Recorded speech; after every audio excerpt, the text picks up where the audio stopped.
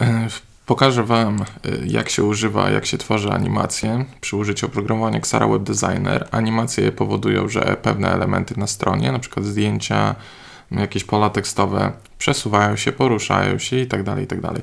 Więc pokażę Wam tu jakiś przykład. Weźmy sobie jakiś speech, e, speech bubble, mm, które przeciągnę, nie chcę dopasowywać.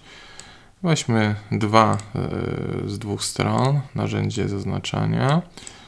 Te speech bubble, y, te z lewej strony będzie się y, poruszało, z lewej pojawiało i umieszczane zostanie tutaj, a te będzie się pojawiało z prawej. Dobra, klikam prawym klawiszem, Web Animation wybieram, Reveal Scroll i tutaj e, Slide from Right wybieram, mogę tu zmieniać prędkość i okres, y, tam ile opóźnienia. Web Animation, ta z kolei będzie Reveal zakładka, e, Slide from Left i zwróćcie uwagę, co się dzieje, jeżeli nacisnę preview e, na stronie i tak się pojawiają te elementy.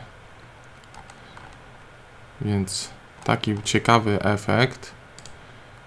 E, otwórzmy to jeszcze w Internet Explorerze. Widzimy coś takiego. Więc, więc w momencie, kiedy następuje y, niewidoczne, ta sekcja jest niewidoczna, to znowu te elementy się pojawiają. Bardzo prosty efekt, ale możecie teraz sobie mm, wiecie, dostosować, czy chcielibyście taki efekt mieć na przykład na stronie, prawda? Więc y, oczywiście jest masę efektów. W tym wideo Wam pokazałem przesuwanie się elementów do środka z lewej lub prawej strony. Są też efekty, o których powiem w kolejnych wideach.